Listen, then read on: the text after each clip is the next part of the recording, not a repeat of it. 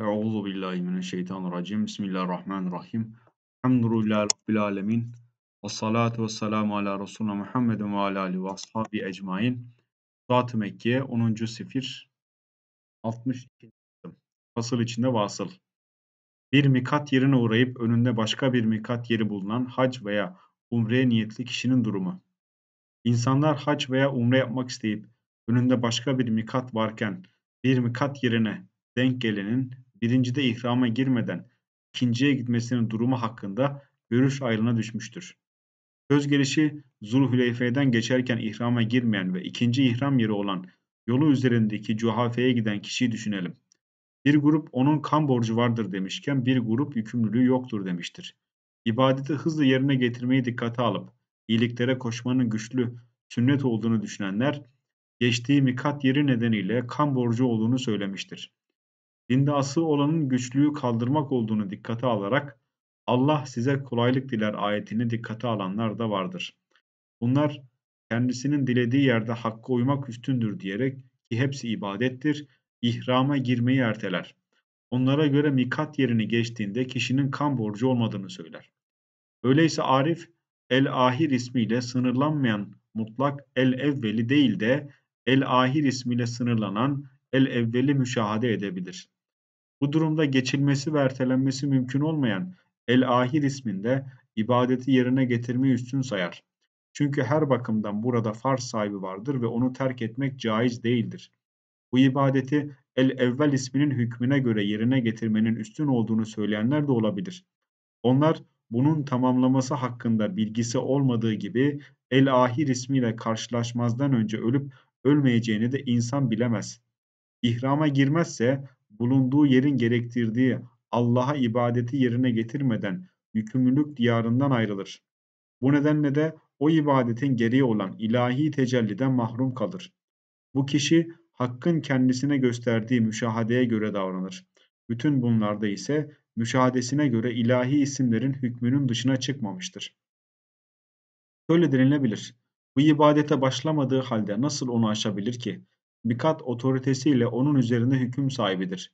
Burada ihram yeri anlamındaki mikat el-evvel ismidir. Böyle cevap veririz. İlahi isimler eşya üzerinde eşyanın kabul istidatlarıyla hüküm verebilir.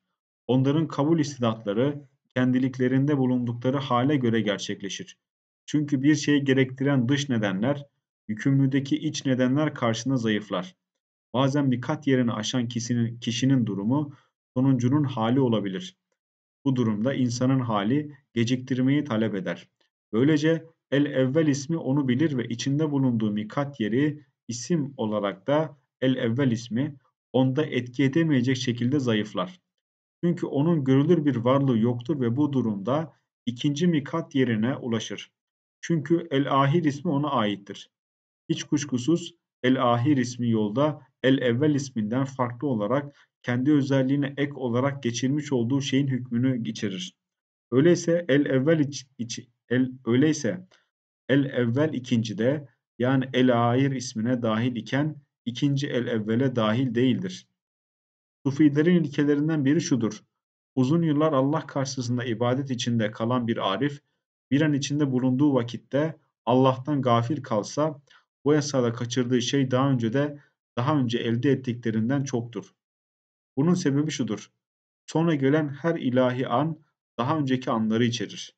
Fakat sayesinde öncekilerden farklılaştığı bir özellik bulunur ve bu özellik ile öncekilerden bir fazlalık elde eder. Bu nedenle bu görüş sahibi ihrama girmezden önce diğer mikat yerine ulaşmada bir beis görmez. Hazreti Peygamber sallallahu aleyhi ve sellem peygamberlerin sonuncusudur. Bu sayede peygamberlerin makamlarının hepsinin elde ettiği gibi kendi özelliğiyle de onlardan fazla olmuştur. Çünkü o peygamberlerin sonuncusudur. Burada anlayan kimse için bir işaret vardır. Böyle denilebilir. Önce ihrama girip de bu ihram ibadeti yerine getirirken diğer mikat yerine ulaştığında diğerinde bulunan şeyi de ibadet halindeyken elde eder. Böyle cevap veririz. Doğrudur. Şu var ki bu kişi adına ikincide ikinciye ait özel bir hüküm gerçekleşmemiştir. Bu özel hüküm onun yaratılması ve ilk olmasıdır. Bu nedenle El-Ahir ismiyle bu inşanın fiilin meydana getirilmesi ilk oluşu ortadan kalkmış iken ona ulaşmıştır. Birisi şöyle diyebilir. İbadeti yerine getirirken el evvelin ilk oluşunu da yitirmişti. Şöyle cevap verebiliriz. İzafe edilen her ilk oluş üzerinde izafe olmayan ilk olmanın hakikati hüküm sahibidir ve bu dikkate alınır. Öyleyse kaçırmış olduğu şey tasayı gerektirmeyecek bir şeydir. Çünkü onun hakikati El-Ahir isminin ilk oluşundan ilk oluşunda bulunurken El-Ahir isminin El-Evvel isminde varlığı yoktur. İsimlere böyle bakan biri onların etkisini nasıl kabul edeceğini bilebileceği gibi zatından kaynaklanan bir müşahedeye, kanıta ve bilgiye dayanarak isimlere layık tarzda nasıl davranması gerektiğini de öğrenir. Bu sayede isim diğer isimden ayrışır. Çünkü o gerçekte de odur. İnsandan bir ismi karşılayan şey o isme layık olan şeydir. Fakat herkes bu konuda bilgi sahibi değildir. İnsanlar bu bilgiyle farklılaşır. Allah bir kısmının derecesini diğerlerinden üstün yapar. Aynı zamanda isimleri inceleyen kimseler isimler buna imkan verdiğinde veya kendi hali isimlerden böyle bir imkanı ona verdiğinde onları başkasına nasıl yönlendireceklerini de bilirler. Çünkü gerçekte bilginin senden bulunup da bilen olmama, olmaman mümkün değildir. İşte insanın zatının gereği olan hal yoluyla ismi başkasına yönlendirmeye imkan bulma böyledir ve başka bir şey geçerli değildir. Çünkü anlamlar bulundukları kimselerde hükümlerini zorunlu kılarlar. Böyle olmasaydı alem haktan var olmazdı. Dikkat ediniz. Varlığı imkansız olan şey mümkünün kabul ettiği varlığı kabul etme istidadına sahip olmadığı için var olmamıştır. Örnek olarak uluhiyetinde Allah'a ortak koşulan şeyi verebiliriz.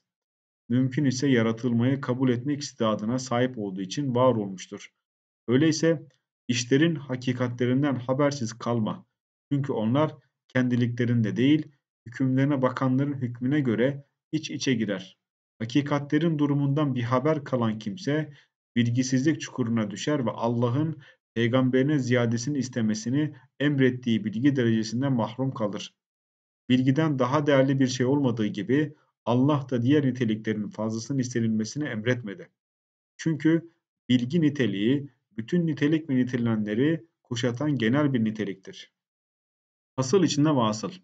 Mikata uğrayıp Mekke'ye varmak isteyen hac ve umre niyeti taşımayan yabancının durumu. Mekkeli olmayan bir insan Mekke'ye gitmek isteyip de hac veya umre niyeti taşımayabilir. Böyle bir insan herhangi bir mikat yerine uğradığında ne yapmalıdır? Bilginler böyle birinin ihram giyip giymemesi hakkında görüş ayrılığına düşmüşlerdir. Bir gruba göre ihrama girmesi gerekirken bir grup girmesi gerekmediği görüşündedir ki ben de bu görüşteyim. Allah adamları iki türlüdür. Birincisi yürütüldüklerini, diğeri ise yürüdüklerini görenlerdir. Yürütüldüğünü gören bir adam her durumda ihramlı olmalıdır. Çünkü her durumda o yürütülmektedir. Yürüdüğünü gören birisi ise kendisini yürümeye yönlendiren sebebe göre hareket eder. İhrama girmeyi gerektiren bir neden yola düşürmüşse ihram giyer. Böyle biri haç veya umre veya her ikisini birden yapmak isteyene benzer. Başka bir neden onu yola düşürmüşse kendini yola düşüren nedene göre hareket eder. Hazreti Peygamber sallallahu aleyhi ve sellem hac ve umre yapmak isteyen birine şöyle demişti. Ameller niyetlere göredir. Herkes niyet ettiği şeyi elde eder. Böyle biri hacca veya umreye niyetlenmediği sürece ihram giymez. Bize göre onun hacca veya umreye niyet etmesini zorunlu kılan bir hüküm de yoktur. Sonra Hazreti Peygamber sallallahu aleyhi ve sellem bu hadisiyle neye kastettiğini açıklamış ve başka bir niyetle gitmeyi kınamamış, yasaklamamıştır. Şöyle buyurmuştur. Kim Allah'a ve peygamberine hicret ederse onun hicreti Allah'a ve peygamberinedir. Kim dünya için veya evleneceği bir kadın için hicret ederse o da onlara ulaşır.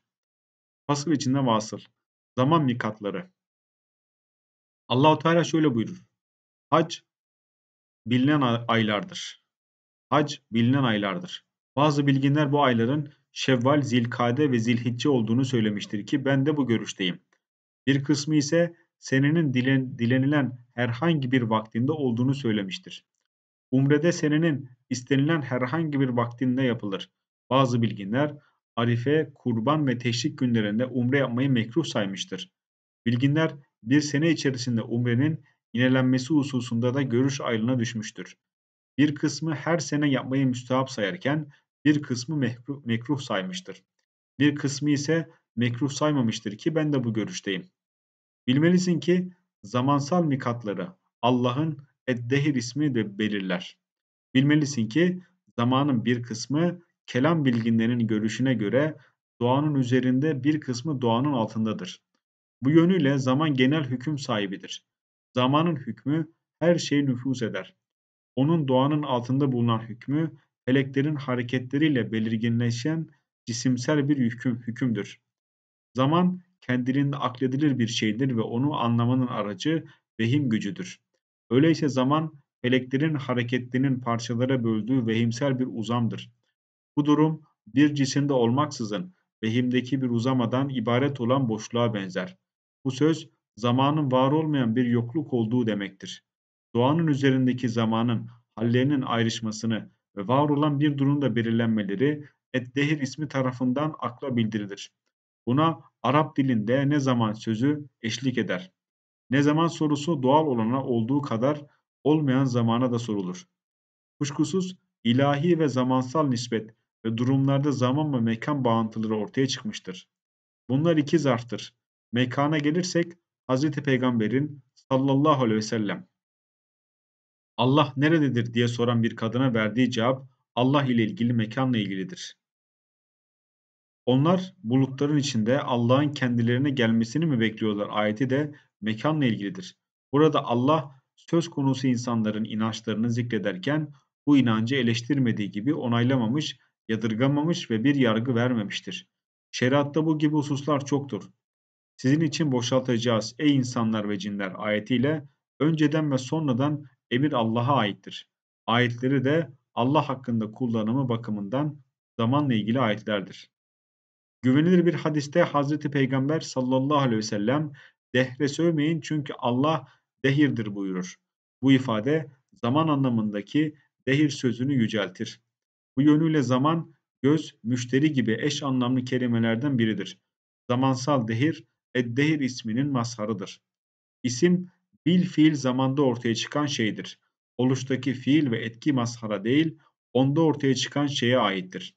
Mazhar, onu isimlendirmesi yönünden zahirde etki eder. Bu nedenle tevilciler bu hadisi tevil ederek hadisin anlamı Allah'ın zamandaki ve dehirdeki fail olmasıdır demişlerdir. Bu tevil apaçık bir yanılgıdır. Burada tevili yapan kişi failine ve edilgine nispeti yönüyle fiili ayırt etmemiştir. Hak faildir. Edilgin ise dehirde ortaya çıkmıştır. Fiil, fail ve edilgen arasındaki bir haldir. Tevili yapan kişi bu ikisini ayırt etmemiştir. Öyleyse bu kişi konunun bilgisini söyleyenine ki Allah'tır bırakmadığı gibi tevilini de Allah'ın şanına yaraşan tevili bilene yani muhakkik arife bırakmamıştır.